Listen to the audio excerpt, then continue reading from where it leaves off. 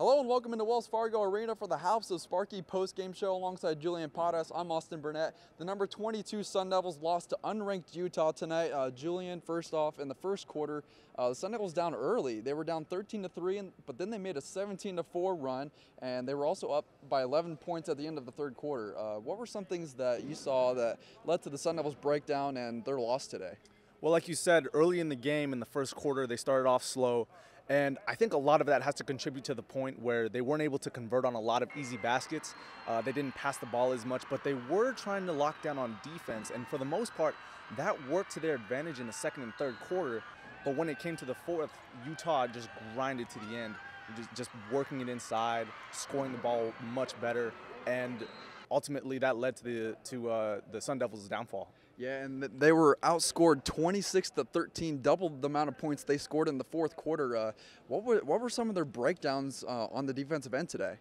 Well, you saw definitely in the first quarter, which led to most of the breakdowns, that they weren't really able to shut down inside.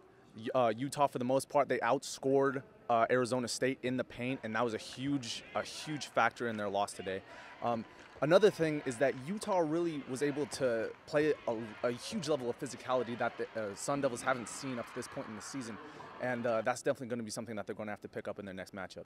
Yeah, and Charli Turner Thorn um, also said in the press conference that this is an injured team. And I know basketball is a long season. Yes.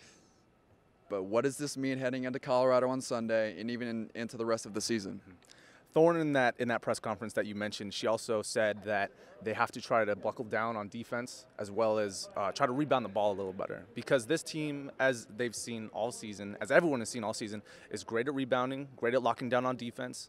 They're great at being able to keep the turnovers on the low, and I think if they're able to do that and be able to stay uh, with the squad that they have now, regardless of whether or not they're healthy um, or not, this team has been able to compete with some of the best teams in the in the conference. So this matchup against Colorado is not going to be any different. It's not going to be any easier or difficult, but it's going to be a testament to how they can play as a team and be able to get a win in the end. Yeah, the Sun Devils on a three-game skid right now as they head in to play Colorado at 2 p.m. on Sunday. But that'll wrap it up for us here at the House of Sparky post-game show. For Julian Paras, I'm Austin Burnett. We'll see you next time.